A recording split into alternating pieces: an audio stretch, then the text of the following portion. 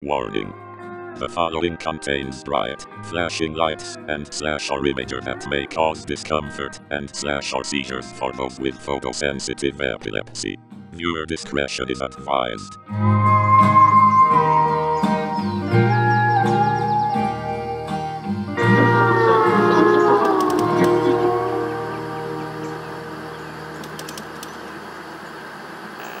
Well, this is episode two of the Manifesto Radio podcast. I have a very special guest uh, that is here representing a very special organization that I've uh, that I'm a big fan of. Uh, that is doing a lot of important work. I think. Uh, Jeanette, welcome. Thank you. Happy to be here. Awesome. I know it was a trip for you. You travel around. You're you're almost like the same level of hobo as I am. So like as far as moving around. So Live out of a backpack all the time. Yeah, it's a great life, you know. Wrinkly clothes and uh, just wearing the same thing over and over again, looking like a picture, basically. Just add a blazer to it. oh yeah, Just completes the I look. need I need to take some notes from you. Um, Jeanette works for Demoler. Mm-hmm. Uh, I think this is the I think this is the first uh, podcast appearance that you're ma- you're making or Demoler is making as far as uh, know, is. being out there. yeah. Uh, so for people that don't know, uh, you know what Demoler is, can you explain to us a little bit what what that project uh, is is about? Yeah, absolutely. So Demoler started as a social media page with the need to represent Mexico as Mexicans see it and as Mexicans know it. Um, it very rarely makes it out to the international community, or at least in a very English speaking source.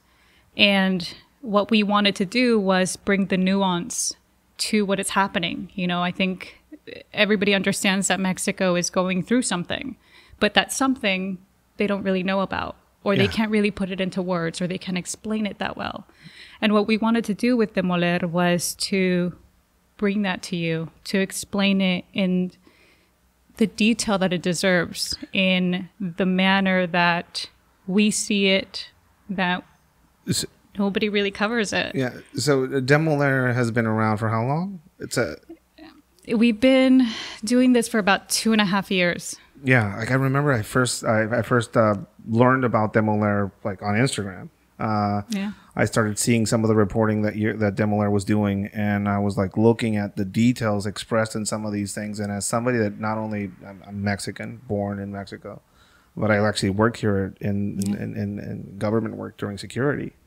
Um, I got to I, I got to see like a detailed analysis of things, and I that I recognize. It's not like a like an oversimplification or, or like uh something an outsider would just kind of like put forth as far as an article for Yeah. it. It was like very concise, and also you could see that it was uh, done by people that are Mexican, you know, that are English speaking and want to convey some of that information for an English English speaking audience, but are very much invested in Mexico. Is that is that uh, is that uh, safe to say? Absolutely. And I appreciate you say that because that's exactly what we want to communicate. You know, we we live here. We are seeing what a lot of people experience and you know, a lot of that voice gets forgotten because you know, they're Spanish speaking or you know, I think we've also gotten into the space where we're so used to it.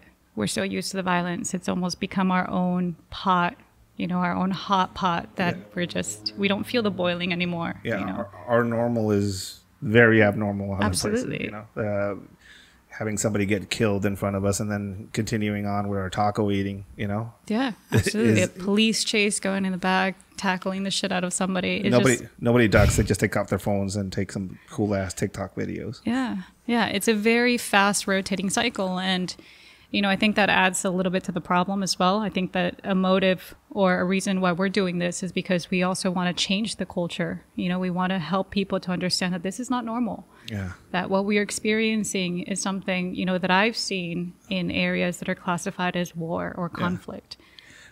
so We forget that. yeah. So we before we get too deep into Demoler and the mission of Demoler and a lot of the work, the amazing work that Demoler does, Jeanette, how, how did you get to? How did you get there? Like, uh, can, can you tell us a little bit about your story Yeah, about and how you got it, got got it involved with Demoler? Yeah, it's it was a while ago. So actually, I started in the humanitarian field. Um, No, no, like where, where so so for people that might not know you, like where are you from? Where were you born? That that, Oh. Yeah. that type of thing. Like how That is also a very interesting story. I was my parents did the opposite. I was born in Los Angeles. I was born in the U.S. Yeah. And then a few months after I was born, we they lived in South Central LA. Okay, Uh, so the Rodney King riots happened. Wow. So L.A. native, Rodney King's era. Yeah. So my parents had migrated from Mexico to the U.S. You know, with the promise of you know prosperity and a better life. First year there, Rodney King riots. Wow. That's that's an that's that's an interesting. uh Wow, that's an ups, that's an upside down exp- uh, immigrant experience, basically. Yeah. Okay. And and they left, you know, as soon as the National Guard came in, um, because you know my sister was ten years old, my little my brother was eight. They remember the Molotovs just being thrown. I mean, guns everywhere. It was it Koreans. traumatized. Yes. with the with On the, the rifles, rooftops. rooftop Koreans. Favorite thing about that, right? It's an iconic thing about that, Yeah. right? And it traumatized them a lot. So then we moved back to the U.S. So I grew up in in Jalisco, and I I mean the best childhood I've ever had. So you moved Only back. childhood I've ever had. You moved back to Jalisco after the the riots in L.A. yeah. But this is this is nineteen like This mid is nineties, 92. mid Yeah. nineties Jalisco. It's not what it is today. Oh no, it absolutely was not. it was kind of like probably you know it, it wasn't it wasn't as open as it is today as far as the violence and some of the things Oh, going on down there so it's, it's like i mean i could idealistic ideal idealized mexico of the 90s it was a beautiful era to live in. Um, I mean, it was you know when they say that a village uh, raises you or takes a village, that's what it was. I grew up with a neighborhood, you know, Yeah. back of my dad's pickup truck, just getting you know rolling around, and you know we got to experience a lot as kids. You know, just running around and, and everybody taking taking care of you. You you crack your head open. The uh, abuela across the street patches you up, and it's just you know very fluid. yeah it's it's it's old school mexico I mean, jalisco is uh, back then specifically i mean i could imagine um safety and just letting your kid go somewhere and come back to from the store and stuff like that Oh, that was like a it was it was still there basically Yeah, it was. Wow. Yeah. So- So, yeah, so I was we we stayed there for a while, and then my parents wanted to go back, yeah and we went back in 2001, okay and then September 11 happened. So, for me, that was my concept of the U.S. You know, every everything that I heard from my sister saying, "Oh, we left because of these riots," and then me going back the first year didn't speak a lick of English, didn't, you know, I didn't really know how to interpret this new world. And then, you know, the big thing happened. And So- then I so- just thought that that was America. So, so you left you left uh, the U.S. with the, the riots, and then you came back to 9/11 as your reception back into Yeah. the U.S. the welcome back. I mean, Yeah. I, I mean, I can imagine that what that, that did to your perception. You know, Yeah. as far it- as far as what the U.S. is, you know, your, your home country in a Mm-hmm. way. Wow. Um, how old were you when 9/11 happened? I was 10. So, uh, wow, that's a, that's a mind blowing kind of a life experience to have as far as your American experience. So I think that largely shaped, you know, also like the perception and the understanding of what was going on, you know, and then you grow up hearing that your country's or, you know, your adopted country, Mexico, is, is going through a lot. And I'm like, mm, you guys are. Yeah, you, the, your perspective was like, ah, no, everything was calm down there. Here, yeah. Here like, is this is this is the scary part. I can imagine that as a kid how the perception would have been. So, you come back to 9/11, basically, and you're 10. What was your youth like in the U.S.? Like, uh, growing up in the U.S. with that kind of behind you, like, how, It- what, what were you like? Yeah. Teenage teenage years. It was different. I mean, I I think so. My first couple of years there, I didn't speak English, um, so a lot of it I spent it just you know being into myself and reserving. You know, I think it was a very difficult culture also to understand because I had just come from a country that you know the whole community embraces you, and then we go to another country whereas you live in your own fence Yeah, it's a your own quarter and you don't talk to your neighbors your neighbors don't talk to you you do you yeah. and i think that was the most impactful thing because it's like you automatically lose a support system Yeah. Uh, with my experience, I, I migrated to the U.S. late into my 30s, basically. And one of the first things I experienced was that the the the the isolation aspect of it, where you know I know not all of the U.S. is the same, but uh, a lot of parts are where it's like uh, this is our house, this is our property. Uh, people don't say good morning, good afternoon. There is no community aspect to it, not like it is in Mexico. So yeah, that, it was it, it was it was probably very like it felt very isolating, It was not just because of the language barrier, but also because of the fact that the communities are just different. you don't have anything anymore and you have to rebuild it. And you know these are people that also don't understand you or you feel like they don't understand you. And by that virtue you don't understand them. So i think you know my first couple of years were very isolated.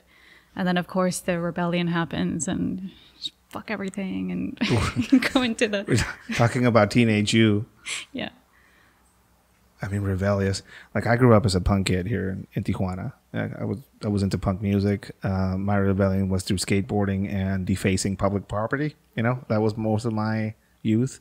What was it like for you out there in the United very States? similar defacing public property too yeah actually uh, uh, i got arrested for uh, it was public it was trespassing and vandalism as a misdemeanor I mean, sorry mom we, we- all we all start somewhere, I guess. right? Yeah. I mean, all of that for me, a lot of that uh, risky behavior when you were when you were a kid does build something in you, a character. Mm-hmm. You know, you're a risk taker. I mean, not it, might- it might be not something you would advise a kid to do, but you know, uh, dangerous unsupervised freedom at that age uh, teaches you a lot of lessons, it does and Yeah. uh, stupidity gets corrected quickly. You know. It does and people that don't go through that uh, tend to have some of those issues later on in life when it's really serious, when you're really into it.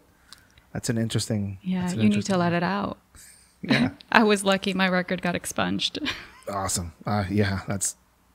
I think you are very lucky. Um, rebellious youth, punk, defacing public property. Mm-hmm. yeah A few problems probably along the way. Yeah, you feel misunderstood. I mean, it's it's kind of the narrative for all the youth, right? You feel like authority is, is somehow impeding you from, you know, being you and because, you know, also at that time it was, you know, the Iraq war and it was Yeah. very politicized and and you know, I also didn't really understand what was going on. You know, why why do we hate them? And Yeah. why do they hate us? You Yeah. know, and this narrative that's formed around it, I, I found it to be very intriguing Yeah. And you know that also got me to be very interested in other cultures and other you know religions and and other people and you know there's also that resistance to it it's like Yeah. Mm, you know So from that youth, did that give you direction as far as you then saying, you know what? I think I want to know what I do, what what I want to do with the rest of my life. Like if if your life was a comic book story, like what was the what was the radioactive spider that bit you, basically? yeah i think you know my my superhero would have been just a just a stone rolling around collecting moss It's a Rolling Stone. yeah to be honest it was you know a lot of that experience was just trying a lot of shit Yeah. was just getting involved in a lot. Um, you know, I I didn't really want to spend a lot of time at home. And so that just got me involved into anything that I could sports, clubs, you know, friends, just watching my friends practice band and, or their friend, you know, the band, the garage band. And, you know, through that, I got interested in politics, mainly, mainly hating on politics and, and being good at debating that. Um, so my superhero would have definitely been just you know talking to people also i was really interested in people's conver- like people's stories i thought that learning from something from someone was always so intriguing and always complemented something and learning from their perspective really you know helped to inform my perspective i'm like oh i never really thought about it like that that's Yeah. really interesting oh but then tell me about this and it was just it always just created an, an, an environment of just wanting to know why so inquisitive. yeah, and wanting to know more. Tell me more, and tell Yeah. me why. Yeah. Yeah, So you you go you go into this inquisitive, asking questions, doubting things, being Just annoying. skeptical, annoying, Just you know, annoying everyone. That's great. Uh, where does that take you in your in your in your you know early years, your your twenties? Yeah, where does that where does that take you? So, with me not wanting to be home much, that took me across the country. I went to DC to, um, you know, as soon as I got accepted to a university, I just took it. And I was 16, just flew across, didn't really know what I was going to expect. Um, you know, I didn't really have much of um, you know, that support network to, to show me the way how. So I, from the very get go, I knew that I had to show myself the way, and it came with a lot of fucking errors and a lot of trials, and and, but, you know, that got me to be very self sufficient. I felt yeah. it taught me how to just deal with it, survive, and you know that complemented also my wanting to explore different areas um, you know, the first time that I got to go abroad, I went to Kenya, um, spent a couple of months there. Um, what what uh, gave you the opportunity to go abroad? Um, I saved a shit ton of money and probably did a bunch of things I shouldn't have done. yeah. but what, so volunteering. Volunteering. Yeah. Yeah. Uh, yeah. Tra- travel is amazing. Mm-hmm. getting. I mean, I think. I think if anything, the as Americans, one of the things that people should do to their youth as far as kids. Absolutely. Giving the giving them the experience of travel so they can see how the rest of the world lives would be. Mm-hmm. I, I, would say it's pretty big on the recommendation oh, absolutely. list. Now, uh, so you travel abroad. Uh, you volunteer. You you decide to get involved in the world, basically, mm-hmm. which is not a common thing for the youth to want to kind of do. Everybody wants to just mm-hmm. chill out but you're not. No, let's let's go see what the world's like. Yeah. So through volunteering, earning money on your own, being independent, you mm-hmm. know, just running away basically. Yeah. That is that is my, how my superhero was developed. It just it just you just ran away. Mm-hmm. Uh, you got involved with the world. Um, you go to Kenya. Uh, mm-hmm. What was what was that like? Experiencing. I mean, you've already experienced L.A., you know, Jalisco, you know, you go back to the U.S. Do you ever experience those those uh, that, that that type of lifestyle? Kenya is a completely different universe, right? Yeah. So what was that like?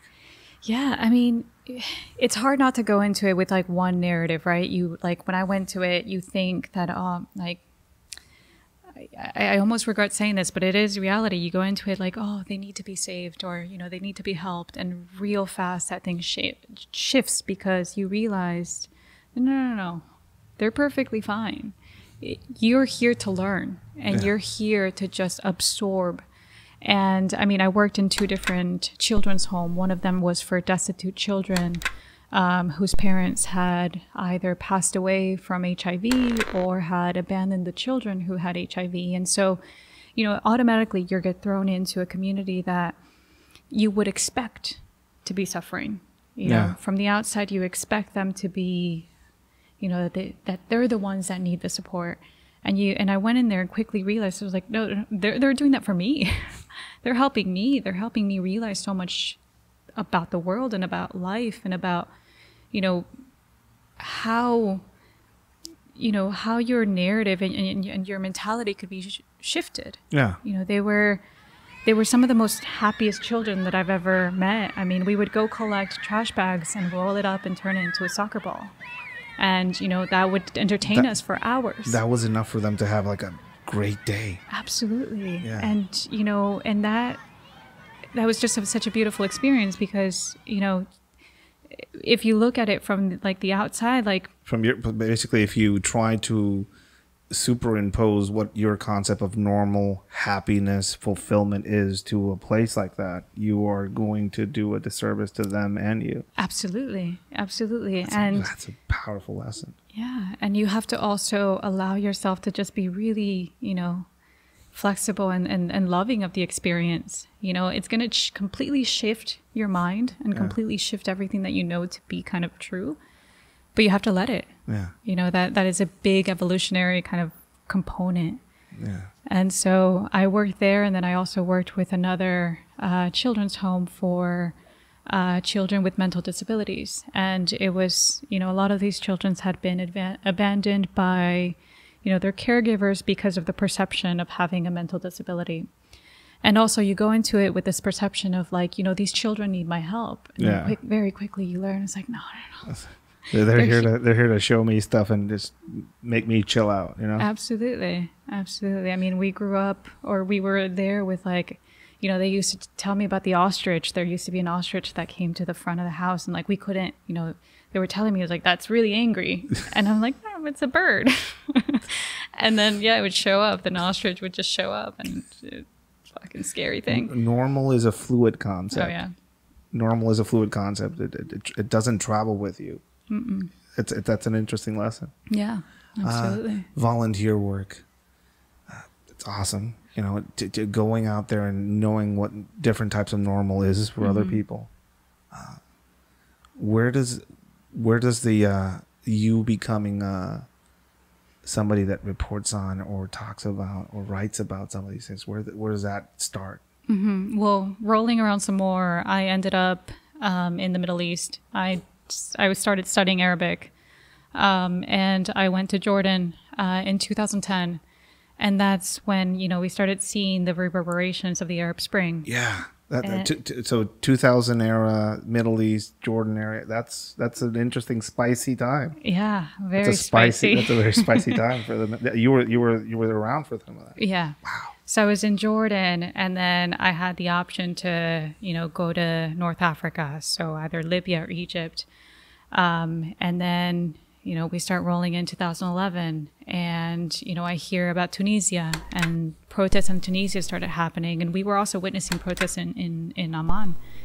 And then, you know, it starts getting a little bit spicier and spicier and spicier until we hit Egypt and you know effectively the the arab spring starts Yeah.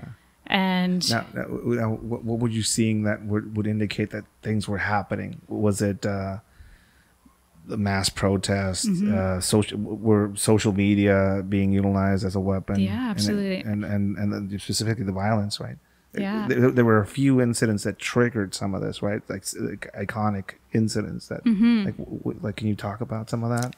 yeah absolutely in tunisia it was kind of noted noted as a start um, uh, a fruit uh, seller basically self-immolated he set himself on fire after his fruit cart was confiscated by the police suddenly that started um, you know airing grievances of police brutality of you know uh, income inequality of unemployment you know all of these different grievances culminated Attached to that single event, Exactly. You know, that kind of that that straw that broke the camel broke the, camel's, back. Yeah. And then we started seeing that in Egypt. And you know, the first protests were for um, a young man who had been taken by the police, brutally, brutally tortured. His body was returned to his parents.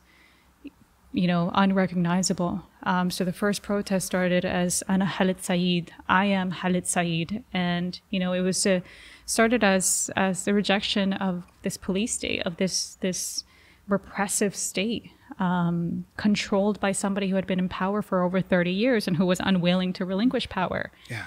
And we started seeing these calls for protest on Facebook. You know, suddenly this video popped up of this woman saying, I'm going to go to the Medan, Medan Tahrir, um, the, the roundabout, and I'm going to protest. Yeah. Join me. And, you know, we didn't really think anything of it. We just thought isolated events. We've seen a few of these happen, but nothing really. And then on January 25th, full Explosion of, of just everything. everything. And, you know, it's one of those moments where it completely shifts everything because you know the normal of this country. You have already observed it, you have already experienced it. This is the normal. And then suddenly this happens where people actually start talking po- politically, Yeah. you know, and, and vocally, Yeah. knowing that there's a huge risk. Yeah. Now, now when, you, when when you're observing this, and this is coming from somebody I, that's not my area of expertise, but hearing some of the things coming out of the Middle East during that time, obviously, a lot of foreign influence started like saying, "Well, you know what? This is an interesting thing that's happening. Let's get our hands into it." Did you did you did you from your perspective there? Did you notice a lot of that foreign influence uh, coming into some of this Arab Spring situation and kind of like trying to take ownership and or direct it somehow? Mm-hmm. Yeah, we started seeing, or at least in Egypt, because I spent most of my time there. Yeah. In Egypt, I started seeing it kind of a few months into it when, like, the U.S. was like, "Oh, well, this might not stop, so we should, you know, we kind Take of need to say something about it." And then, you know, it first started as, you know, we need to, or at least we interpret it as, you know, we, we need to calm down a little bit. Like, this is getting a little hairy. And then suddenly, I think when it just the the the you know the the hill had been crossed and there was no turning back we started hearing calls you know from obama saying okay we, you know mubarak should probably step down Yeah. so so we start seeing you know a lot of this kind of push for Basically, Yeah. they took a side after like they just waited out to the sidelines and then just they took a side. out Yeah. yeah, That's an it's interesting. like thing. okay we're just gonna bet for the winning team at this point So so you you you you were there for some of that. That's an that's a, that's an amazing. That's an interesting experience to have. Specific, and I and I and I ask about it specifically the triggers, um, because, you know, a fruit vendor doing that to himself, uh, a uh, a single individual being tortured by the police and getting handed back in a horrible state to his parents. Those are two events with two individuals. And now you're working uh you know covering a country where that is every day. Happening every day. And there's thousands of stories of people like that. And we Mm-hmm. Don't have a mexican spring you know? Yeah. that, that, that that's where i'm going with some of the questions you know? Yeah. No absolutely. Um, so you you you uh you have that experience out there um what's what, what happens next after Mm-hmm. your experience there So I think what Egypt exposed me to, and, and so I, I had been working at a humanitarian organization there doing, um, you know, their security portfolio and basically reporting for with or for the organization. Um, you know, my job was to basically assess what was going on and report on trends and, and analyze. And, you know, I, working in this, seeing it outside my window, and then also hearing what other organizations were covering, primarily who weren't there who were, you know, who had such a massive platform to inform, you know, other governments or people who, you know, wanted to observe or wanted to remain interested in this, you know, eh, you start wondering what the motivations are. And you start actually being able to prove, have evidence that, you know, this is, you know, this is how it's actually, you know, I can see it. Yeah. Th- This is, this is how it's developing and there doesn't always have to be this significant analytical process to it we just have to kind of observe it and you know be able to to represent it accurately and so you know some of those first reports that were coming out were you know the, the police was just being absolutely brutal. I mean i was in tahrir where it was an area of you know chanting and singing and people together and children were there with their mothers. And you know it was just such a positive state. But a few you know a few meters away there was a street called Mohammed Mahmoud which was effectively kind of the front lines of the clashes between the protesters and the police i mean this is the first time that i ever saw a tear gas canister go into someone's head. It was you know the methods that they were using were absolutely brutal. And and you know i think we were still trying to balance the narrative between like oh the police versus the the protesters kind of on an equal, equal platform. But you know the the level of proportionality was just so out of this world. And i felt that you know there you know i think that drastically informed how nuance and detail is very important when you're covering a space these voices matter Yeah. and having someone that is actually there and reporting from there actually matters Yeah. and I think that, you know, I've taken that concept everywhere that I've gone, you know, and if I'm not able to be there, I at least make a point to talk to people who are there. You know, you have to include their voices. You have to make them kind of say their own record. you participate you have to make them participate in that uh that journal entry of the world for that specific part of the Absolutely. so you so you go through that experience Mm-hmm. insane experience um we met through training right like uh i remember uh I have a memory of it every day. Okay, uh, we'll, we'll we'll talk about that in a bit. Uh, but before that, you reached out through Demoler about. Uh, I remember I saw a very specific post about Demoler. Now, can you talk about how you uh, how you basically got involved with Demoler, like how that what that project, uh, you know, what what that project is about? Um, I saw a post of Demoler, and it was talking about a very like a very specific incident that happened in Mexico. And I'm not a reporter. I, I comment on things that happen in Mexico. I get asked to to comment uh, for a few news news agencies um, on things that happen related to security issues and stuff like that on the border in Mexico. Uh, but when I saw the writing that Demoler was doing and how it was keeping everything concise, it didn't seem to have a political slant to it, which is something that is very common in a lot of news agencies that report on Mexico that are that are U.S. based or are tar- or, or, or are focused on the U.S. market. And I saw the I saw it. and I was like, that's an interesting that's an interesting uh, platform. So I started sharing some of that stuff, and you reached out. Hey, thank you. Right? Oh, I mean, you're welcome. Keep keep at it. Right? Uh, and then you showed up to a training. Yeah. What was that like? Yeah, it was. I mean, I had been following you for quite a while. Um, I had been interested in what you were doing, especially also since you, you know you're you're one of us. Um, Yeah. And and you know at that time, it's also you know doing this kind of work in Mexico gets very complicated. Um, it, it, gets very touchy. I think uh, I think you should be more clear about it. Uh, being a reporter of any kind in Mexico is probably, and I, I, you can say this clearer than I can. It is the most dangerous place in the world to be reporting on the news. It's it's officially been classified as as the most dangerous country in the world to be a reporter. And this is something you're doing, right? So uh, I remember Self preservation. self-preservation, right? Uh, yeah, I- uh, and I, I have, I have, I had a few friends that worked in that field here in Tijuana that are not with us anymore. So I remember you reaching out, seeking out some preparation and training related to safety, uh, awareness.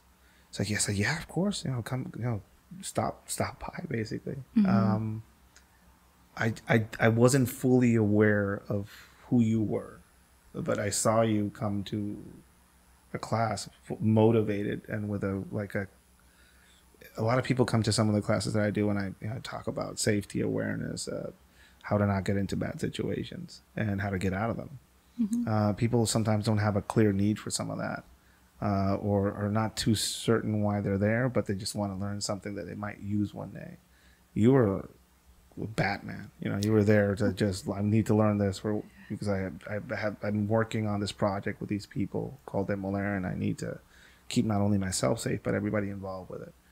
So um, that, to me, that was uh, interesting, coming from somebody that comes from where I come from, like culturally, and also somebody that's involved in a project that is basically, hey, we want to tell the truth and communicate some of the stuff that is happening in Mexico, and we are in danger.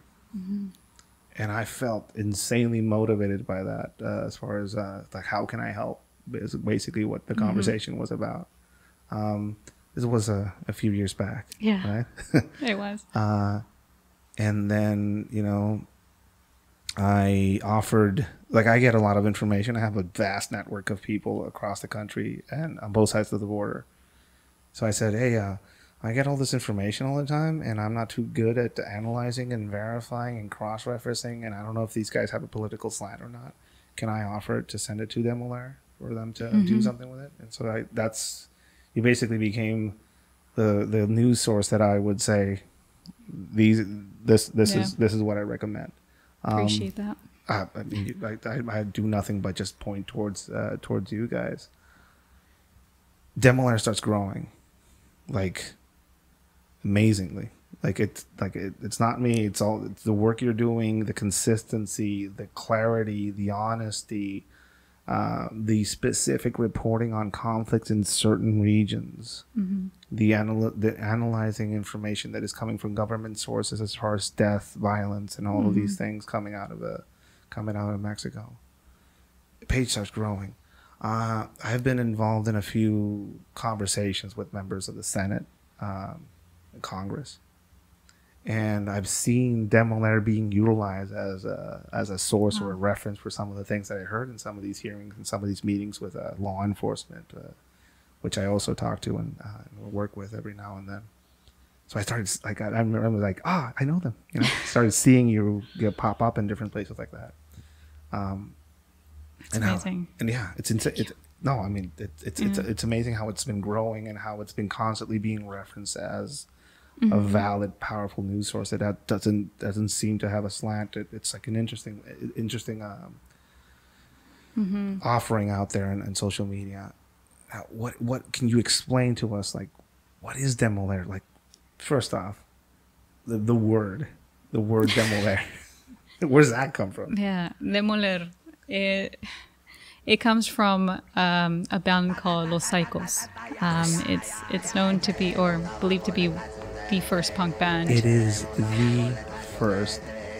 I, I, it's the first. Yeah, it is the first band. I, we're gonna put some of the audio you know, in there.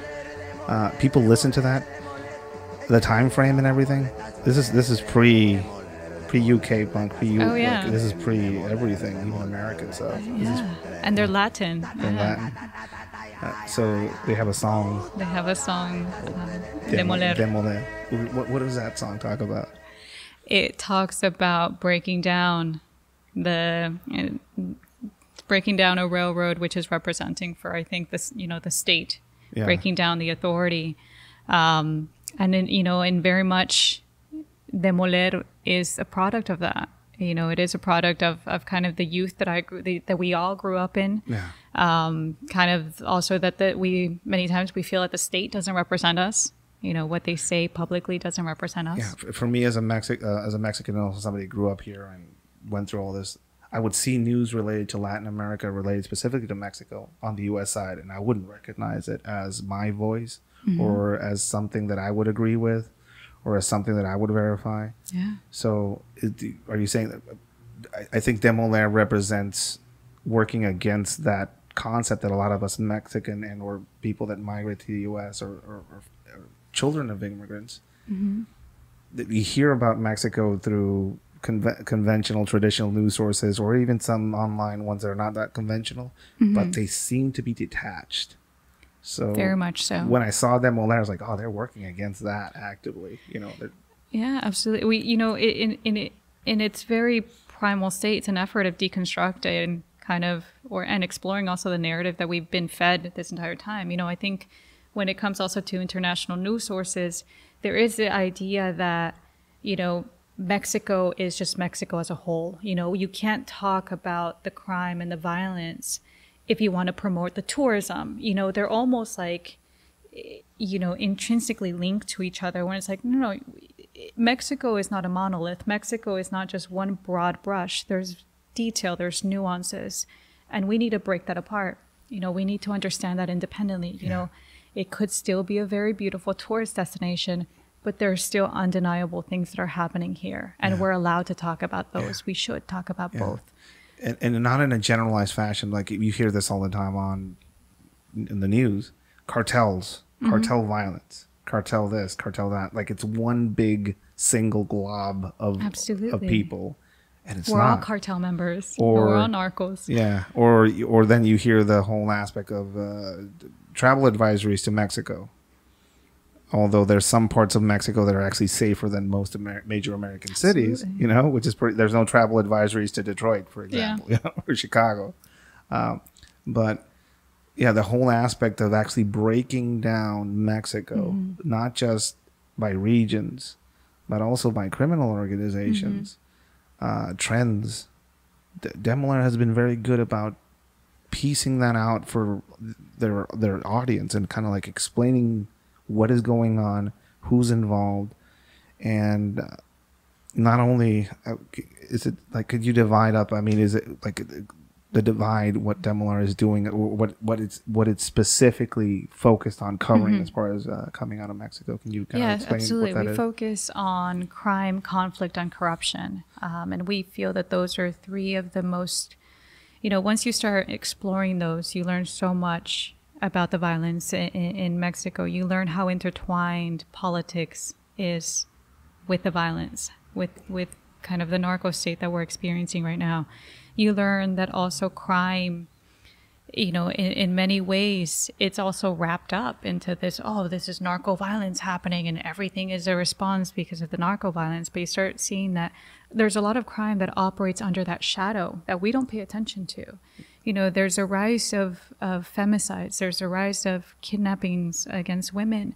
And we just tend to slide that under and say, oh, it's, it's this narco, narco state. So, so like when I was in law enforcement, there was this phenomenon that happened. I think it started happening during the time that I was active. So I was active from 2004 to 2016. I think that's kind of the region that I was really active in. And I got, I got to witness some of it in Juarez specifically. I think it's the first time I saw that phenomenon where in in the killing fields is what they called it. You know, some of the ladies that work in the maquiladoras Maquiladoras. uh, were being abducted, raped, and murdered. Yeah. And it was being reported as in the media as cartel related or as these people were involved in certain Some aspects. shady shit. Yeah. At the start, not not when the whole picture came to, to light, where all, these women, you know, this is not that. But you start seeing this phenomenon during that uh, start of the drug war, specifically during the Felipe Calderon administration, where a lot of violence or violent acts were being put under the umbrella of cartel activity. And it was just, oh, it's cartel activity, so that means we don't have to really pay attention to it because they also did it to themselves. Yeah. You know, we have this very pervasive understanding that like if you're involved in it or you get killed in some form of fashion, you were probably responsible for it. And that's also another very it's programming. It was programming that has been done to us. When I say us, I mean Yeah. culturally Mexicans.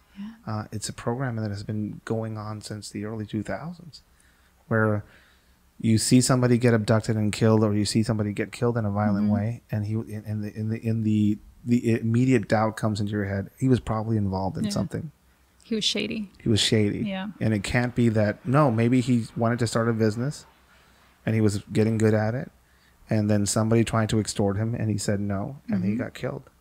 You know, that's mm-hmm. that's another aspect of it. Or a lady gets picked up, abducted, sexually assaulted, murdered, and then her body gets dumped in a way that is in alignment with how cartel They do it. stuff happens. And you can speak to more more about numbers than I can right now because you're way more informed in that aspect. But how many murders get solved uh, in in Mexico?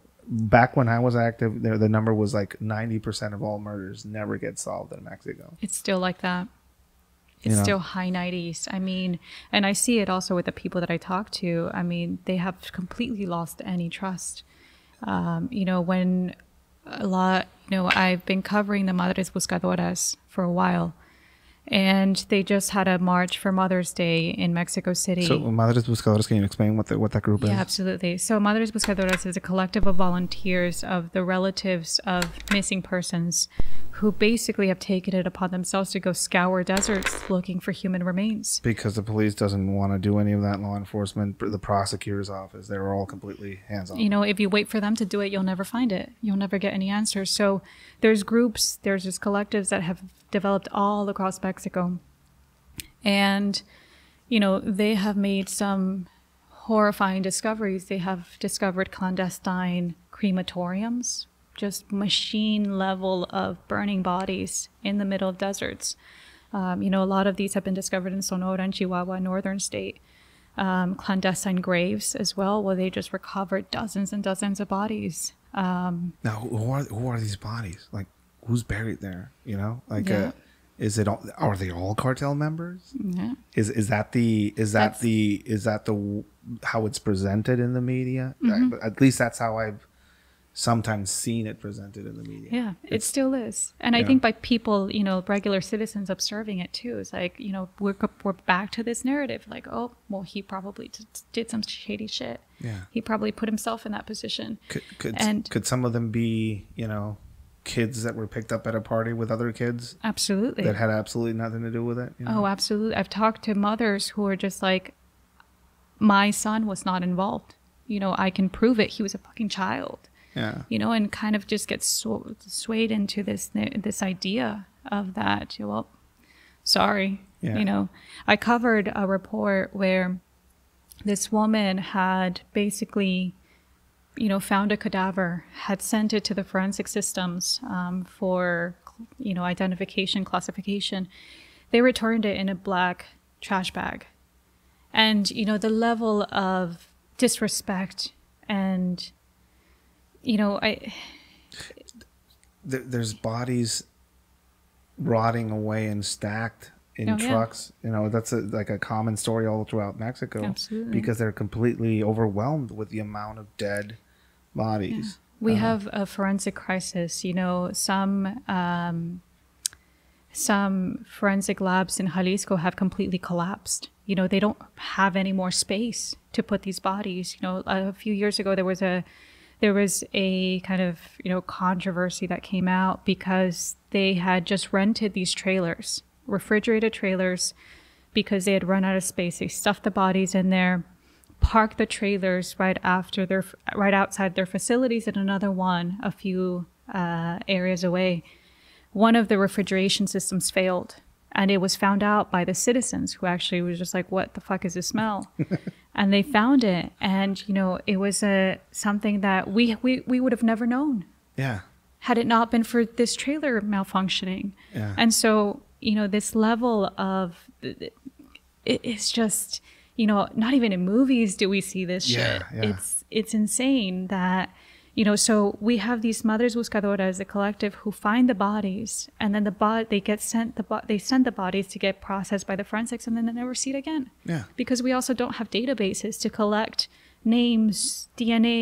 We there's no concise system Yeah. to So- be able to so for people that, not, that don't might not know mexico was law enforcement in mexico and the prosecution of, uh, of a murder is something that it, that the local state government is involved in unless it happens under federal jurisdiction and even when that happens the federal prosecutor's office is not even close to being prepared to investigate a murder of one person much Yeah. less of a hundred hundreds of thousands. and some of these institutions, some of these uh, prosecution office, prosecutors' offices, uh, basically get changed, renamed, and the leadership gets shuffled around every time there's a new governor. Yeah. And people, you know, the the, the cousin of the governor's wife gets uh, the the new prosecutor's office. So it's like it's a, it's a, pardon my French, it's a shit show. And I've lived through that It is. myself, you know, so I, I can tell that. oh, I can I talk about that a little bit, but um, so you see this completely under-equipped, undereducated effort by the government to procure justice for these victims that is just not to be found. It's not- Industrial level body disposal happening. You know, people can research El Pozolero. El Pozolero is one of many people out there doing some of these things, probably. So, uh, El Pozolero was a guy that uh, basically Stew dissolved maker. the stew maker. He he would uh, dissolve bodies in caustic soda. That was his mo. Uh, he said he learned it from Mossad agents, which is I don't know if the story is true or not, but it's a pretty interesting uh, story he told some of the interrogators that got to talk to him. Um, But they don't. Even, some of these groups don't even make that effort. They just burn the bodies or just bury them now, uh, because and that's a sign of I think you talk about escalation. Mm-hmm. You know, in Baja, back when the stew maker was arrested, he was actively trying to get rid of the bodies. I don't do that anymore. now they don't try. They don't have to. They don't have to because they they just they're aware that the, nothing's gonna happen. Yeah. You're gonna find this body. Nothing's gonna Absolutely. happen. And you know, we've also seen that they're very brazen about it. They'll just dump dismembered body parts in the middle of, you know, el centro in, Yeah. in a popular area, and Nothing happens. Nothing no happens. arrest. Maybe maybe the maybe the people involved get caught, but the, the involved in, in throwing the bodies out get caught, but they're usually not attached mm-hmm. to them. Yeah. It's And also, what happens with these arrests, you know, because the government trust is so low that we don't even think that, you know, the person that got picked up and arrested or charged for this crime is even the one who did it. so, so Demolera is reporting on the I mean just the like in your opinion, would you call this a war? Would you call this an insurgency, or you, or wh- how would you define what's happening in Mexico? In the first 72 hours of the Ukrainian conflict, Mexico outperformed that war zone that is declared a war zone by international community. Mexico outperformed that war zone in violent deaths. So what do you call Mexico? What do you call what's happening here? Yeah, it is still very much the upside down. You know, I think that there's localized areas where there is active war going on. You know, the rival cartel cartels are fighting rival cartels, and it is they're employing tactics that are absolutely used in these battle spaces. You know, it, it it's not any different from these theaters of war that we see plastered all over. You know, the BBC. Yeah. So, Um, so, so you, you, you, you, let's, uh, let's kind of deconstruct it, you know, in this conversation. You see Tijuana, right? Tijuana has conflict in it. There's violence here. There is an ongoing war between rival cartels that are trying to gain control of a local drug market and they're killing each other's mm-hmm. s- distribution points and sales points um, gangland style you know. There are a few high level hits that happen. There's executions there's abductions. That's one side of what's happening in mexico. Mm-hmm. Then you go to michoacan mm-hmm. right? What's going on in michoacan Yeah, Michoacan. So the battle space right now is between the Cartel Jalisco Nueva Generación, the new uh, Jalisco New Generation, and Carteles Unidos, which is basically different factions that have, you know, part of Los Viagras, Familia Michoacana, uh, Caballeros Templarios, or the remnants of it, all of the remnants of the cartels that the old schools.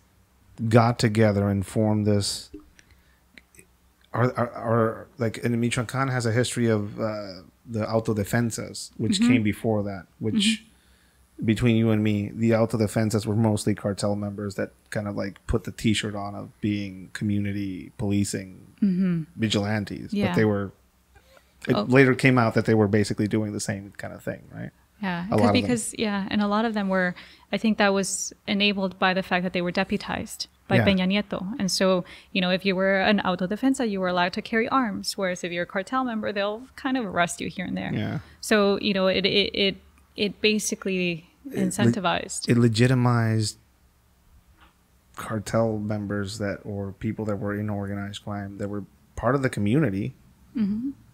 and they legitimized them being armed and policing their community and then you know that kind of i think that bled into what is happening now where carteles unidos i mean they call themselves that which is united cartels fighting alongside federal mexican federal agencies in trench warfare mm-hmm. against the new generation cartel. Yeah. Is that kind of like safe to That's say? That's what I hear from people that I speak to in Michoacan. You know, there is the idea that Carteles Unidos are very much supported by federal forces. You know, that, you know, Guardia Nacional has, you know, some incentive of keeping them kind of in this fight. Um, you know, th- this this is very much what I hear from from the people that witness it and hear it. Um, and then Jalisco Nueva Generación is, you know, supported by um, another wing. Um, so you know, it it is a war that is becoming heavier and heavier, and also the history of these groups too. They're, you know, they're joined by Milenio.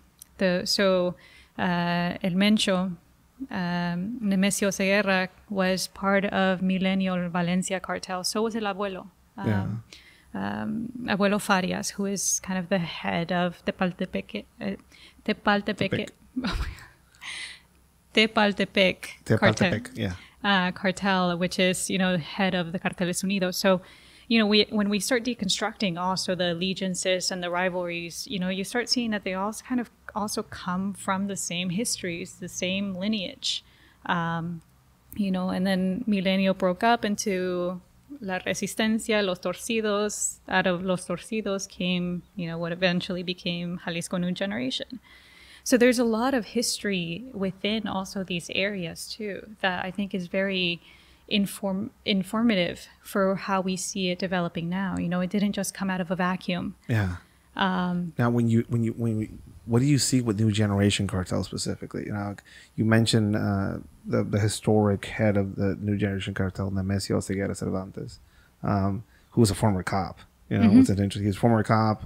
Um, the U.S. actually had him in custody for a bit, which is interesting. You know, he's arrested in, uh, for heroin smuggling. I think he comes back. He's the head of this uh, new generation cartel. We we first started hearing about it during the like I don't know what, like late to late uh, mid to late two Uh, I think the first major event that the name uh, at an international level that the new generation cartel was named or attached to was them downing a federal helicopter In 2015. in 2015 over uh where was this? I mean it, it was uh, it was over their controlled territory. They they used a russian rpg on a black hawk helicopter a black hawk helicopter donated by the us government to mexican authorities. Flying really low. Um, they were not they didn't realize that these people had anti-aircraft capabilities and that became the president. Like that, that's that's not only still uh, an issue for flying over Mexico and, uh, as a, as a law enforcement in the military uh, uh, aspect but they basically escalated the violence in a way in, in Mexico so you They set the tone. they set the tone of what comes next. Like, um, the aspect of cartel members keeping it low key, uh, maybe the violence would be very prevalent in some places, but they would try and keep a low key and control, maybe not full co- confrontation with the with the government. And then they just make a helicopter go down, you know, Yeah. And gain control over big Swaths of swaths territory. of territory yeah. where they themselves are now the government in a mm-hmm. way, you know. They- the- Absolutely. in some of these areas, they don't go to the police; they go to them. Yeah. So- Absolutely. And It- they're fulfilling these functions that, you know, are limited to the or what we would expect are limited to the government. You know, during COVID, they were out distributing despensas, like food baskets. You know, and, I and enforcing mass policies. absolutely and curfews and it was you know this level of blatant control of territories. You know we're not talking small towns we're talking you know collective of towns. And people followed it you know. Why? I think it's worth exploring. Um, Yeah. you know i think everybody has different motivations. I think fear is very much high up there. But they started implementing their own kind of you know government in a lot of these areas. They were distributing despensas they were enforcing masks curfews. In jalisco they had a flood a flash flood with a few homes you know just you know their their furniture got wiped away. They were there the next day distributing mattresses and refrigerators and you know for mother's day they go out and distribute microwaves and appliances and you know they are fulfilling a role Now, when we talk about cartels, I mean, most people culturally and people that watch Netflix, and the Narcos series and stuff like that, that's the concept or the image that they have of, of, of cartels. You know, there's mm-hmm. these guys in flashy clothes, maybe, you know, operating in cells and, you know, paying off and corrupting the military and all this type of stuff. New Generation Cartel is a different animal in that aspect, or at least that's how it's seen. You know, that's how they've been kind of like differently influencing their whole growth and how they've been taking control of large parts of the Mexican territory. Sinaloa cartel, in comparison to the to, to the New Generation cartel, can you can you explain what their differences are as as far as how you Demolera has been able to kind of cover that? Yeah, we see that Jalisco cartel has taken huge territories by just absolute force. You know, with some aspect of the Sinaloa cartel, we see, um, you know, I, I will hit a new um, talking point here about their their their fragmentation, but we saw them still maintain a certain line of you know, control within their areas. You know, I, I've spoken to a few people in Sinaloa who are just like, no, this is, you know, it. They keep the control. That's why you know they say that Sinaloa is very low in the homicide. You know, they have a certain degree of just, you know, maintaining that status quo. Whereas like all of the areas of Jalisco cartel are some of the highest homicide rates that we see. Um, and also the active, you know, conflict areas. They're actively uh, conflicting around or against these these local gangs or local. You know, in Guanajuato, they take now Santa.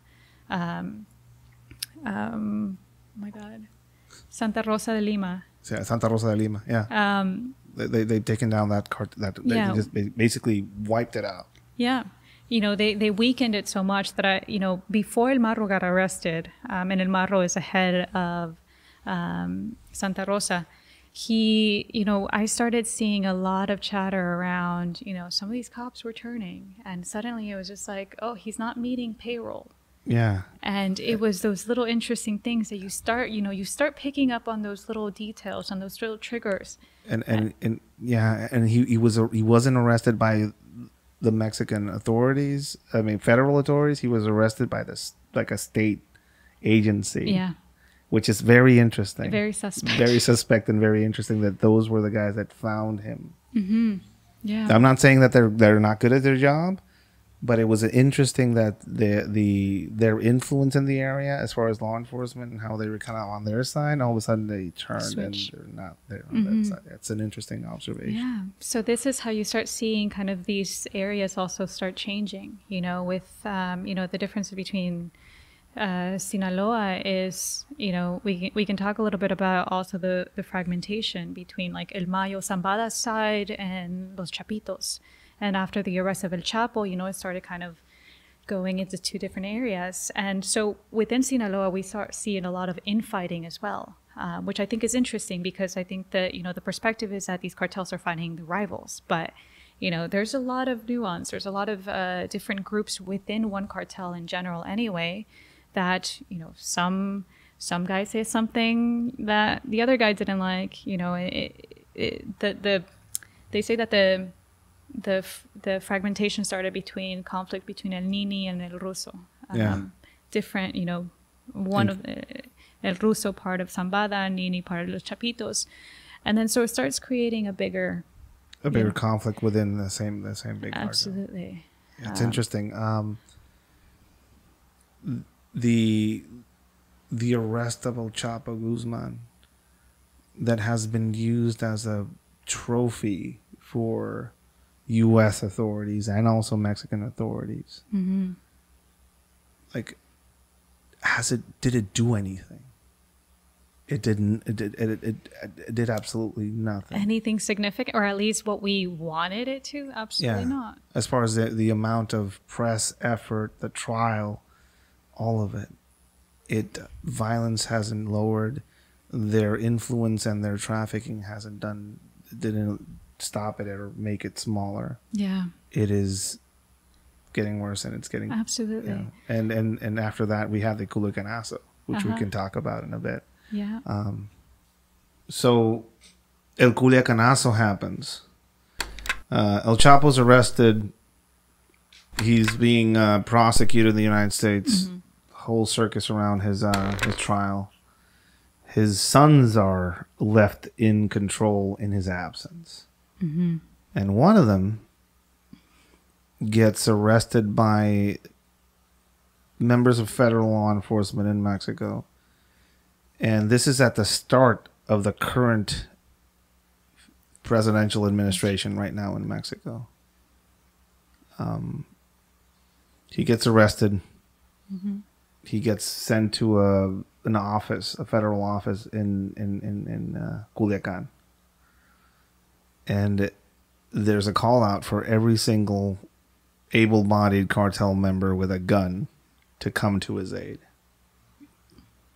can you talk a little bit about this event, this Culiacanazo event? Yeah, it was absolutely insane. I mean, immediately when that happened, we start seeing videos on, you know, social media, people that I know from Sinaloa, Sinaloa just, you know, the city stopped.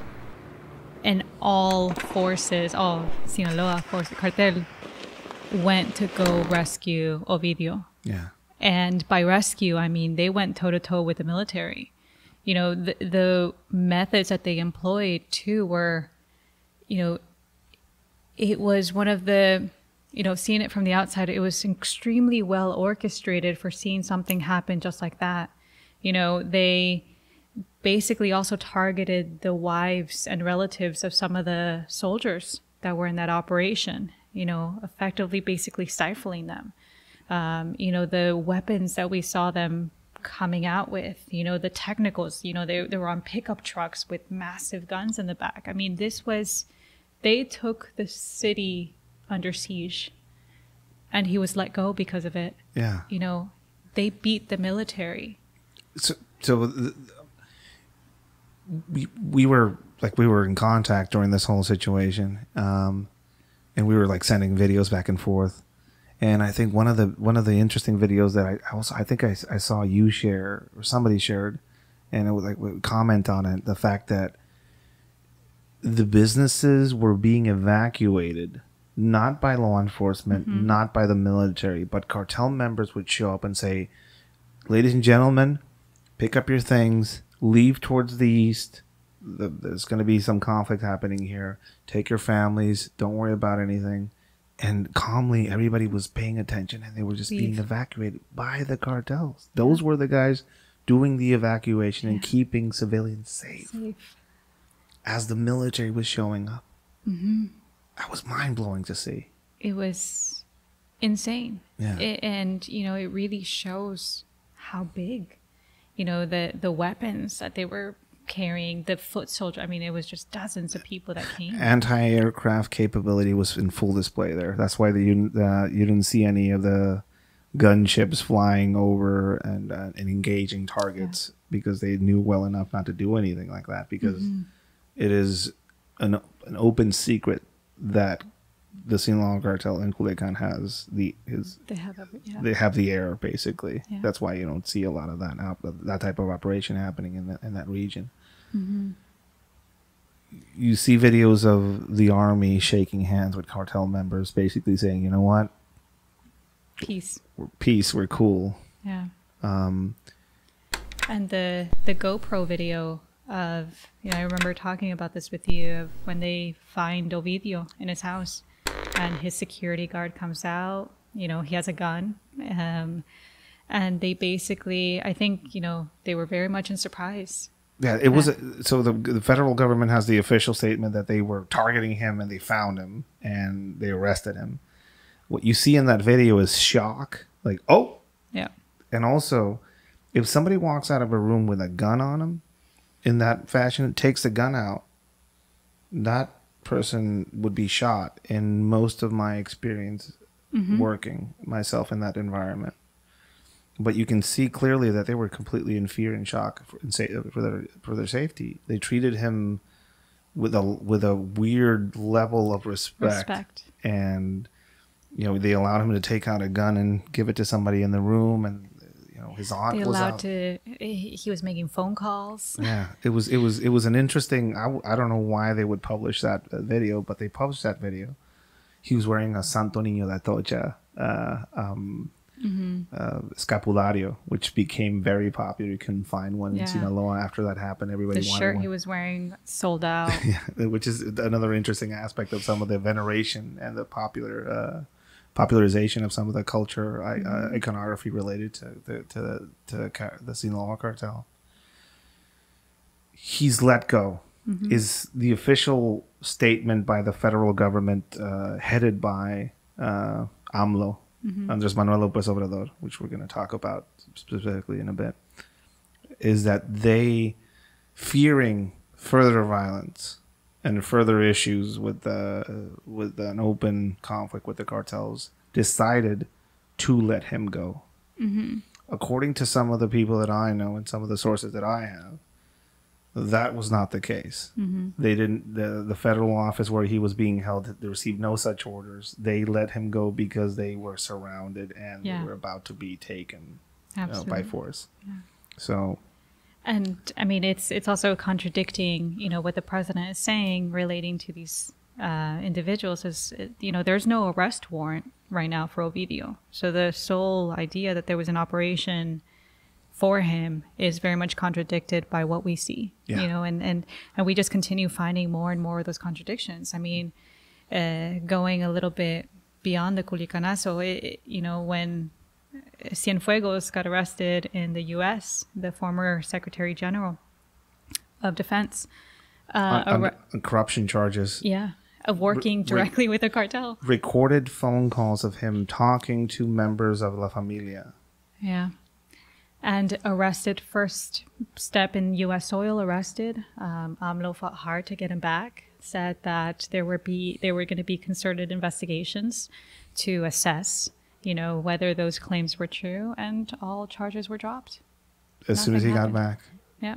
um, basically his arrest was part of an investigation that U.S. had on Luna, Yeah. who was Genaro Garcia Luna. Genaro Garcia Luna. Uh, I think all of them were attached to a specific cartel that apparently during the Felipe Calderon administration Mm-hmm. was favored and or protected. You know, uh, So they were part of the Sinaloa cartel essentially, and then when the split happened in Beltran Leiva, los, Beltran, los Beltran Leiva, not the Uh-huh. familia, not la familia, los Beltran Leiva. Yeah. and you know it's almost you you start seeing records of kind of like also like a split between you know like oh shit now whose side are we going to be on um you know and and that also is a sign of you know who started falling Yeah, yeah. And so you see this high level Mexican uh, general arrested, and and it's kind of unheard of that such a high profile arrest is done and charges are being brought up and then they all get dropped. Yeah. And he gets flown back to Mexico. Mm-hmm. And, and, allowed to live as a private citizen. I, I think you know it's a, it's a, it's a long standing thing with me that I, I realize that power in Mexico is concentrated in the military. Mm-hmm. I mean, they're they're at the end of the day, you can elect whoever you want to be in that presidential seat, but who is really in charge is the military, and military leadership is very much an influence in Mexico outside of everything else. So that was an interesting display of that power. It's not a common one, but it was an interesting display of that power. So you have AMLO, you know, coming in, uh, winning the presidential elections almost in a landslide victory. Nobody could stand against him because everybody that was running against him in those uh, presidential elections represented political parties that had been long since been burned by corruption scandals and the citizenship was just like done with all Yeah. of that. So you you have this to the left populist character come out that had run for the presidency several times over, even when he was, ran against Felipe Calderon and lost under dubious circumstances. Uh, he declared himself the president of the people. Remember that? Yeah. Like he went out there, he put a presidential sash on himself, like I'm the one that won. So he, you know, he pulled a Trump in a way, in a way, you know, when before Trump was cool yeah he he sweeps into the presidency. Uh, Culiacanazo happens, and he adopts a policy that has you know now been kind of like nicknamed and or tagged as abrazos, no, No balazos. balazos. Basically, hugs, not bullets. Mm-hmm. And he promises to do everything contrary to Felipe Calderon, who is his political enemy, and he said well, he's wrong for militarizing policing in Mexico. He was wrong for taking the war to the cartels. We're not going to do any of that. Mm-hmm.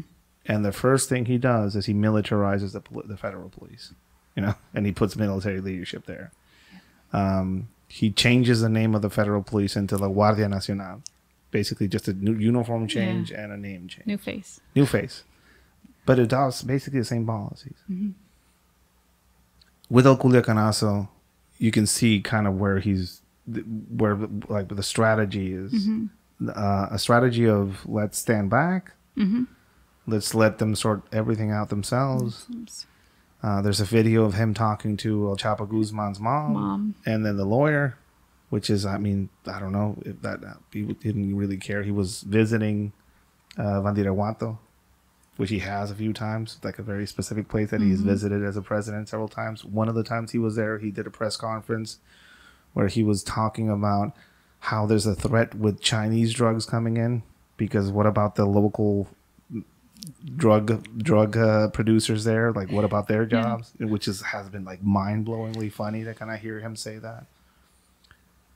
What what what what what do you think about his uh his presidency till now? Like, is this this whole policy of standing back, abrazo no balazos, there's no problem, nothing's happening type policy? Yeah, it's. I mean, dissecting the policy itself.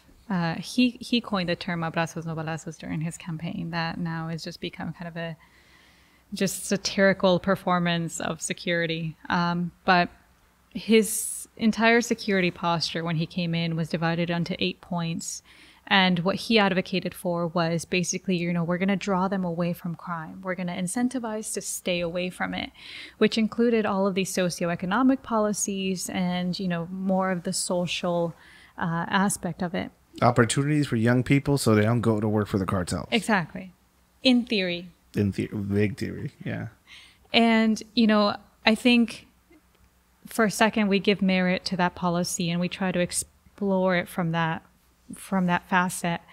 You know, where are those social policies? Where where are these socioeconomic incentives that, you know, were promised? You know, we went through COVID and COVID was greatly devastating because a lot of this economy works informally. You Yeah. know, they don't have safety nets. They don't have, you know, they have to constantly hustle and work. And, you know, I'm sure you can talk about this, but what I saw in Mexico was, you know, we didn't get anything. There, there was no support mechanisms there during COVID, during one of the hardest economic times that we were asked to stay at home and respect the, there was no stimulus checks coming in the mail for Mexicans. There was no breaks. There was no uh, we're gonna we're not gonna ask for taxes. It was it was Yeah, it, it was asking us to stay away without providing any alternatives for us to stay away. And, you know, people had to continue working. So, you know, we're talking about this whole, you know, we're going to reshift the security spectrum and change that theater so that we don't incentivize them into going into it. Sure, that sounds great in theory, but where are they? You know, this is, you know, the recruitment for cartel organizations has exponentially increased during these times Yeah. because they see that there's a huge void that that you know they're filling. So, you know, just on that aspect, I don't see a co- cohesive or concise agenda or plan how this security policy could be effective. You know, I think we all can agree that the war on drugs was just an absolute shit show. failure, a complete failure. It's, it's, it's been a complete fa- failure. it, it was doomed to start from the very beginning. You know, just the fact that Gerardo Garcia Luna was is is already facing uh, charges for directly working with the cartels. I mean, that in itself is inherently a failure. But you know, to come into this administration and say that we need to change what has failed before by more failed policies is it's hard to take that seriously. I mean, we see it every day. There's no the morale also across the country is going so low. I mean, we we hear on the side him telling us, you know, abrazos no balazos, we're going to deal with this problem in a way that we haven't dealt with it before. You know, the bullets aren't working. Okay, I agree that you know we we need to step back in in committing human rights abuses yeah. but how are we filling up that space you know he just a couple of weeks ago he said that you know we're going to treat these gang members as as normal people as brothers Yeah. So he said something. We, we're concerned about the safety of our soldiers and our police, but we're also concerned about the safety of their muchachos. We're also concerned about because they're human beings too. So, what does that even mean? You know, does it mean we're not going to go after them? We're not going to shoot back? and that comes. What does that mean? yeah and that comes a day after you know the sedena was filmed retreating from seven seven vehicles in michoacan who were just kicking them out of the city Yeah, You know, dis- and- disarmed. Some of them, some of them disarmed. Uh, uh, cartel members openly threatening uh, a, a military official that they were going to hang from a bridge, yes and they're forgiving they're forgiving him his life, but just leave. Absolutely. And and he, you know, it's sad to say that he was there in the video with a tail between his legs, you know, almost thanking them for Yeah. sparing his life. you know, interesting aspect of this that doesn't get really talked about it a lot, a lot much. People can go on TikTok, and you'll see cartel videos that are very much kind of propaganda ish, mm-hmm. but you'll also see Mexican military army pride propaganda videos Yeah. showing Guardia Nacional as this amazing policing force. And I mean, you've been here in Tijuana, you've seen Guardia Nacional Yeah. moving around. Guardia Nacional as a police agency, as a new police agency, is supposedly like the main law enforcement federal wing that is going to combat violence in Mexico. That's what they send. That's who they send. You see them here. They're hanging out, walking around with rifles on the street, or they they get planted on different street corners, and they do absolutely nothing. Um, you see them, you know, patrolling in areas, roadblocks, and stuff like that. They're doing absolutely nothing that hasn't been done by the Fe- Felipe Calderon administration with their federal police, ver- the, their version of that same federal agency. Do you see absolutely no change? No. No and change. it's getting worse, you know, arguably it, it you know, because there's an absence of a concise security strategy, we've almost left a huge void. And, you know, what I see the president doing is acting very reactively. You know, there, there's no proactive measures about how we're going to treat this problem in a long term um, strategy or sustainable strategy. It's almost just reaction. You know, after the soldiers were basically kicked out of Michoacan, he deployed, uh, you know, 1,200 um, forces to fix that problem. So, you know, it's almost like a back and forth. He's telling us, no, we need to demilitarize the streets, but tomorrow we're going to send So- more military in. Yeah. And we need to deal with this problem effectively and tackle the social mechanisms behind it but we're going to go through a crisis and not really do that. So it's very difficult to have any confidence. And I see this also with the people. You know, I talk to, you know, just the tamales lady or el vendedor de tacos, like a taco stand, and just Irregu- having- irregular commerce people, basically. Exactly. Outside of the yeah. and you know just have a frank conversation with them and they're in it by themselves you know i Yeah. think everybody feels that we're just you know we're we're fighting for ourselves so you, so you see like so you have an interesting perspective you know you saw an uprising in the middle east mm-hmm. firsthand where you know one of them was an individual that was a fruit vendor. Mm-hmm. Imagine in the informal market basically. One of them a a, a, a, kid getting tortured brutality and that kind of we've seen the Floyd situation in, in, in the U.S. and what that mm-hmm. did as far as how that erupted a whole country into violence, you mm-hmm. know, uh, uh, related to police brutality. What is wrong with us? Like, why don't we erupt in violence when one of our women gets murdered? murdered and not only murdered by uh, not only murdered but law enforcement lies about the the nature of that or yeah you go back into the recent past you see a casino in Mon- Monterrey where cartels chain the doors and burn everybody alive in it. Uh, you see uh, again going back into the recent past you go to monterrey you see students from a from a university get shot by government agents and guns planted on them and they say oh they were just cartel members which was a complete and blatant lie. Fabrication and we don't en- erupt in protest mm-hmm. violence what is wrong with us? What in your opinion what is wrong with us? And i, I- include myself because this, what's wrong with us? Yeah. You know i think it's it's a matter of self-preservation because i think if we were really to pay attention to what is going on we would all go insane.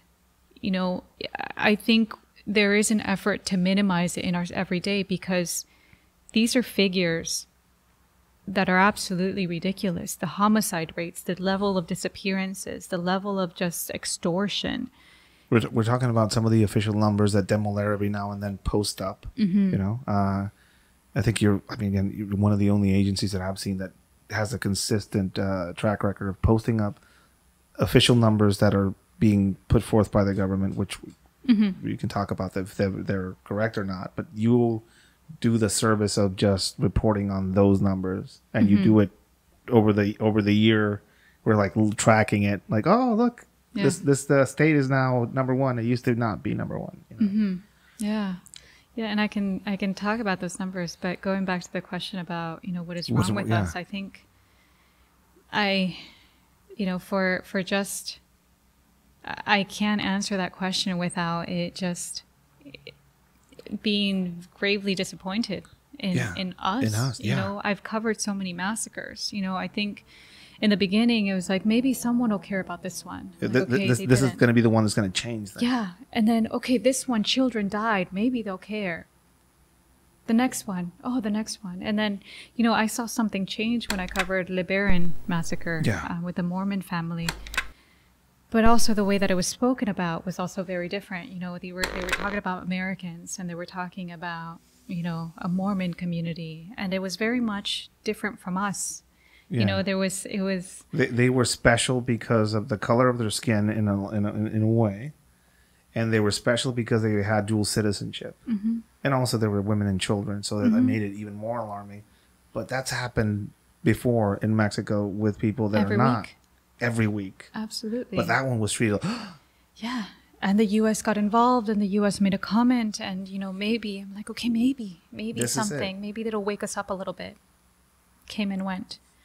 And you know I I I also see it in myself. You know, I think covering daily just the level of death, you start becoming desensitized to it. And I, you know, I fight every day to like maintain that sensitivity to it because I do want to still retain the idea or the knowledge that these are human beings.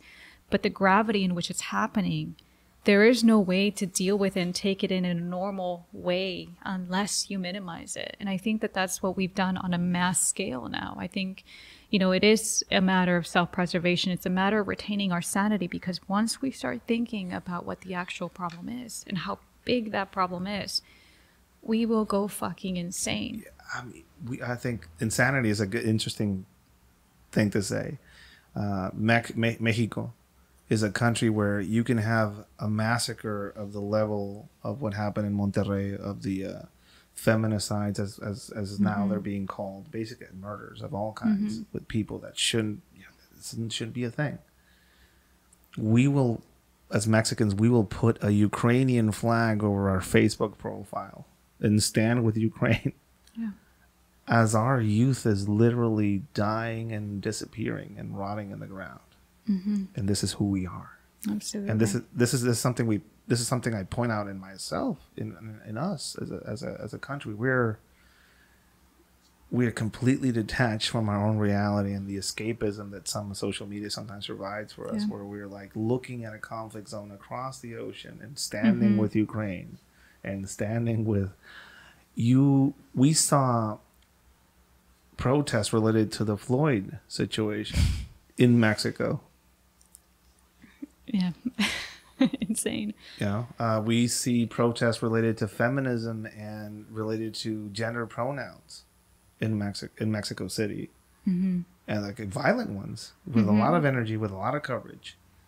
Yet the amount of just horrible, nightmarish things that happen in this country just get Yeah. I was in, so this past uh, Mother's Day, I was mentioning there were protests from the Madres Buscadoras, the, the relatives of missing persons. They, they orchestrated a project, uh, protest in Mexico City. They first started in front of the presidential palace. No one came to receive them. No one paid attention. One official came for a couple of minutes, did a few kind of formalities, uh, spoke to a woman who was leading the march. She comes every single year. She's in a wheelchair, older woman. Every single year she comes to Mexico City. She's from Jalisco to protest this, to say that this is wrong. And I mean, I was there standing. I think I was one of the only media people that were covering this, Yeah. you know, asking questions, you know, how long have you been coming here? What would you want to say about this? You know, what what do you feel that the government's supporting you, helping you? And it's just the, the indignation, you know, from the government side to address these issues. I mean, I think it's become so easier to deal with, you know, what's popular and what's kind of, you know, a theatrical say for, you uh, know, gender politics now are a thing and they're all over the news uh, pronouns uh, in mexico we're talking about mexico uh, uh, you know and and some of these things just get like yeah, it, this isn't pretty. Let's dig yeah, it. Let's push it's it not under. popular let's dig it under uh, we are you know, this past year was pretty, with numbers, talking about numbers, was a pretty violent year. It's getting, is it safe to say that it's getting, the numbers are getting skyrocketing basically as we go? It's Yeah. not getting better. We don't see a downward trend when it comes to violent murders in this country or forced disappearances. We don't see a downward trend when it comes to media not being targeted or like, we just going we, up. we just saw a reporter from from this part of the country, Yeah. Tijuana, go down there and in a press conference say, "Hey, president, people Mm-hmm. are trying to kill me. Yeah. People are trying to kill me. Uh, can you do something about this? We'll figure it out." They killed her, right? Mm-hmm. Um, and it's not it's not an isolated case, and uh, like it's it's it's it's, uh, it's pretty insane to kind of experience and see, like. Where do you see these trends heading? Like, where are we going with these with these numbers? Like, what's happening? I mean, to to start from you know a, a kind of a disclaimer that I always put or that we always put in all of these posts is that these are the official numbers, but these aren't the actual numbers. You know, and we make a point to show these numbers because that's the only figure that we get. You know, we collect these numbers on the daily, so and it's I mean that process in itself is difficult. They definitely don't make it easy for you to have a track of, of the homicide rate. it's not in their it's not in their best interest to, to put out the actual numbers. And I, I was I was a part of the government, and I can tell you that those numbers are not Are not real. not even close. Absolutely, and we've been collecting this for since we we all started the page. But from, you know, a year ago when we finished our tally that we had from these government numbers, the official government put out another tally, which was six thousand figures different. You know, there was no explanation for that discrepancy. We had we found no methodology for how this happened. You know, so we are doing our best to collect these numbers and we're already going into it knowing that these numbers are not accurate you know the the actual because they're also not counting the the the incidences where you know a body is not discovered. Um, you know what happens to the bodies that are picked up in clandestine graves are those placed in these figures. You know we we have no answers for that. So it's going higher and there is no sign that it's There's no there's no easy. indication of a downward trend or any of that. No. And, you know, the president went on a Mañanera, his morning conference, and he said, you know, we have a 3% reduction rate in homicides. That sounds great in theory, you know, the way that you're presenting it, but let's actually look at those numbers. 3% in some of the highest numbers that we've seen in our history is marginally insignificant. You know, we're being fed this idea that we're getting better and, you know, our policies are working. But when we actually see those numbers, even knowing that they're not accurate, they're still some of the worst homicide rates that we've seen. You know, we're talking about conflict, war zone level homicides. And, you know, I was talking to a taxi driver when the, in 2019, when the highest figures first came out. And, you know, we were listening to a radio broadcast and, and they were like over 34,000. And I'm like, what do you think about this? He's like, you know, what he said was really interesting because he's like, we're the only country not at war with these numbers. And then he kind of just smiled a little bit. He's like, but we're still a couple million anyway, you know, and that level of kind of you trying to rationalize Yeah. this insanity that Yeah. it's going back to being insane. so we're not at war. You know, Mexico isn't at war. Uh, if you, if I look at the conflict from a from an outside perspective, I, I'd see uh,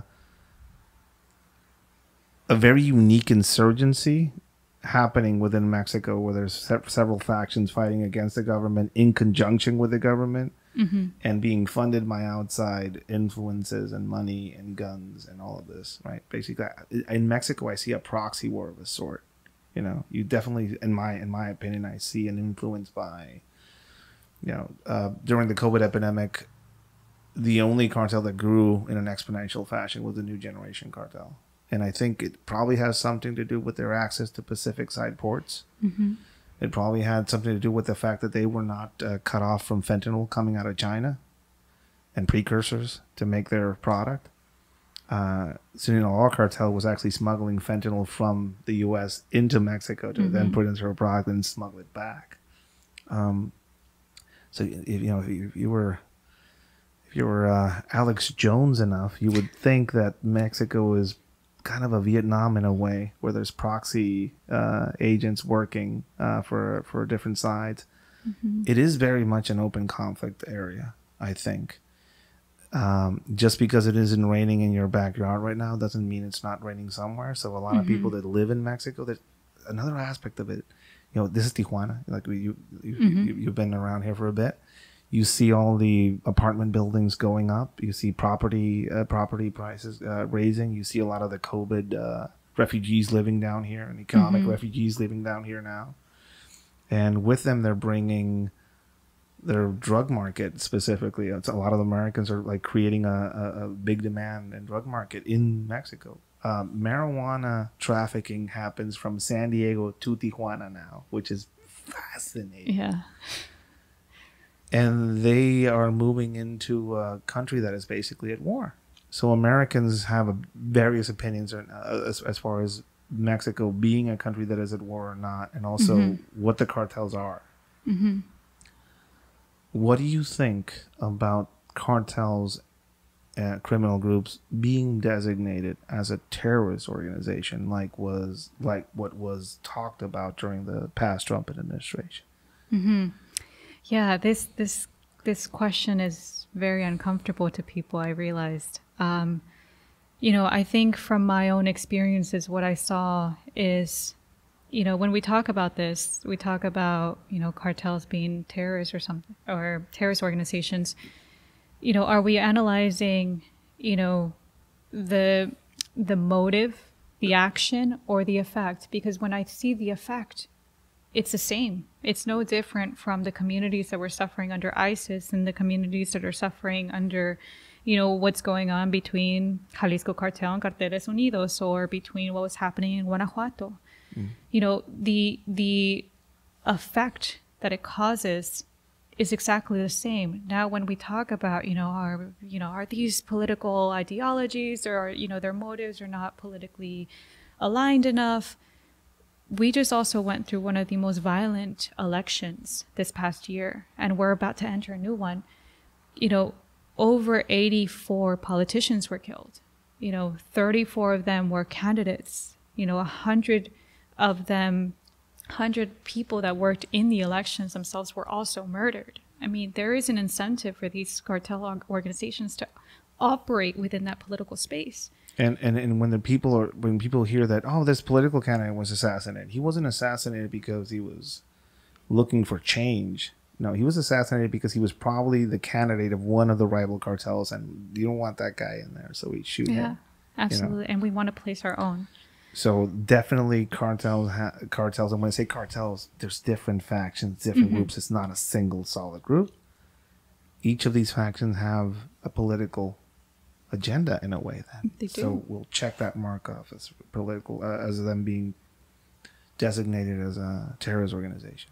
And when we talk about designating them, I'm, I'm you can talk about defining them as a as a terrorist organization, like by like defining them a- in a book but the U.S. government designating these organizations as a terrorist, or- uh, these or, these criminal enterprises as terrorist organizations, and that what that would do as far as freeing up the ability to the of the U.S. to do certain things to go after certain elements of their finances, people that influence and or work with them, and how that would affect a broader range of how to af- attack this problem. Uh, they're politicized do they use terror tactics to influence the local populace? Um, they are using drone civilian drones in very much the fashion that was developed in the Middle East. the least. You know, civilian drones dropping 40 millimeter grenades uh, with badminton uh, attachments, so they stabilize their drops, which is brilliant if you think about it. They started putting pesticides in it. Chemical, basically homemade chemical weapons now. Um, they are upping their game as far as fourth generation warfare, and uh, I, the reason that I am sometimes asked to go and advise and or train government forces in the U.S. is because I have a knowledge base in this. You know, so they they themselves have realized, oh, it's interesting that this is an interesting university of a space, and let's talk to Ed about some of these things. Um, there was a threat to make them an, to, to, to designate them a, a terrorist organization when I th- I think was done by Trump to pressure Mexico into enforcing its own borders because they were dealing with the whole car- migrant caravan crisis, which is kind of petered out now. It's not it's not a, it's not at the top of the agenda anymore. Um, what would you think the effects of them actually being designated a terrorist organization? Th- What, mm-hmm. what what will that even look like?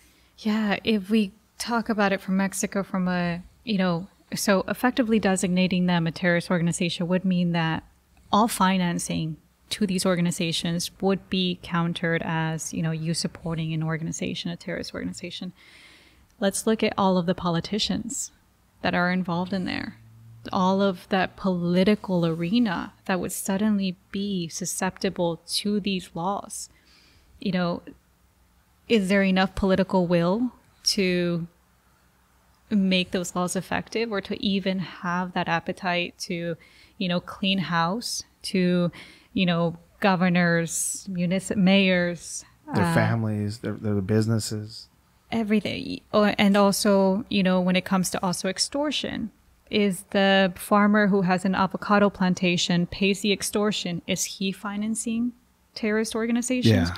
You know that becomes such a immense landscape there that I don't think we have the political will to ever want to tackle it. We don't have certainly the appetite to want to implicate ourselves. You know, many of these political heads would effectively be implicating themselves. Tequila companies, Bevmo would be targeted to Yeah. targeted by like if they sell any of these bottles there, you know. Yeah, Netflix uh, supporting some of these series that uh, kind of talk about Sensationalizing the I don't know. Like uh, Yeah. the, the the scope of it could be so massive, yeah. and also I think you have now many Mexicans who are living in the United States illegally. Um, they're undocumented, basically. Um, now have a legitimate claim claim to asylum. to asylum, and that would, you know, Mm-hmm. that would change the Uh, so you you hear this constantly. I'm sure you get it in the comments uh, when when when Demoler posts something. Let's uh, let's get the U.S. involved. Let's send some drones down there. Let's send Mm-hmm. some ground forces down there. some boots on the ground. What do you think that would even look like? I mean, that I am concerned about that, seeing as we have seen that in other countries, you know, the level of violence that it has created, the level of, you know, where would they even start? With who? You know, is it going to be a full nationwide invasion? You know, are boots going to go on the ground everywhere? Are they going to go in concentrated areas? You know, just that, it, just entertaining that landscape Yeah, it's because you know it, it's also these organizations operate within the people Yeah. you know? It, when i hear like a comment let's just go fucking nuke them or you know is you're you're talking about entire communities here. Yeah. you know the problem is so pervasive because we've allowed it yeah, to become this way. You know they they live you know among us. Yeah. so what what would that look like and how would that look like? You know it, it definitely does breed a lot of concern um, but it doesn't eliminate also i have concerns with my own government they're not even addressing the, the problem Yeah. um, you know they you know I, i'm interested to hearing your thoughts about that I mean, it's a, it's not it's not overseas. You can put every single marine that you have in the U.S. on that border. It's not going to be enough to stop the wave, massive wave of migration of people coming out of this country, fleeing a conflict. So, I I don't know. And also, we're tied by blood. So, like family members on this side, on that side. Cart- there's a there's a delusional aspect that Americans have that cartels are just in Mexico and they're not spread out all over the country in the yeah, and United that you States. can recognize them yeah, you can uh, pointy boots and a hat. You know, I think that's a I don't know. It is such a complicated issue, and it's very much a regional issue that we, as the United States and Mexico, are completely economically, culturally, tied and blood tied. You know, we just went through a pandemic where illegal farm workers were basically essential workers Mm-hmm. because because they provided food. So that's an interesting aspect to that, right? and they are. Yeah. Um, hotels, restaurants, all the industry services, most of the you know in the United States are directly tied to mm-hmm. people irregularly moving through the borders. And how that all ties into actually going after cartel organizations through using military force and trying to intervene in Mexico might be kicking a, beehive that will, you know, it's it's a very complex. Absolutely. And, and you talked also about the, you know the weapon systems that they have. That's going to be a very I mean, they can take in planes. You know, they can take it out in a plane if they, they if they wanted to. You know, so that, that's an interesting aspect to it. I don't know. I personally don't know what's going to happen.